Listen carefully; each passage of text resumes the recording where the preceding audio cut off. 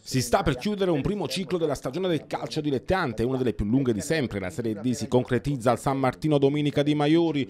Il Costa Ramalfi, dopo l'1-1 dell'andata di Bisciglie, si aggrappa al fattore campo e al doppio risultato per accedere in quarta serie. La squadra di Mister Proto è ad un passo dal sogno. Basterà non perdere e pareggiare per 0-0 ai costieri. La news che però rimbalza dalla Puglia è che la società, nello stellata del Bisceglie, avrebbe chiesto il cambio di campo. L'impianto dei Maiori non è grandissimo e da Bisceglie sono previsti tantissimi tifosi pronti a sbarcare in costiera amalfitana. Le prossime ore saranno decisive per un eventuale cambio di campo, anche se il Costa Amalfi vorrebbe regalarsi davanti ai suoi tifosi una domenica magica, la più importante da quando è stato fondato. Per quanto riguarda la prossima stagione, inoltre, il Consiglio direttivo del Comitato Campano ha stabilito che nelle singole gare di attività ufficiale 2024-2025 le società partecipanti ai campionati di eccellenza e promozione avranno l'obbligo di impiegare sin dall'inizio e per l'intera durata della partita e quindi anche nel caso di sostituzioni successive successive di uno o più giocatori, almeno due tesserati nati dal 1 gennaio 2005 e dal 1 gennaio 2006.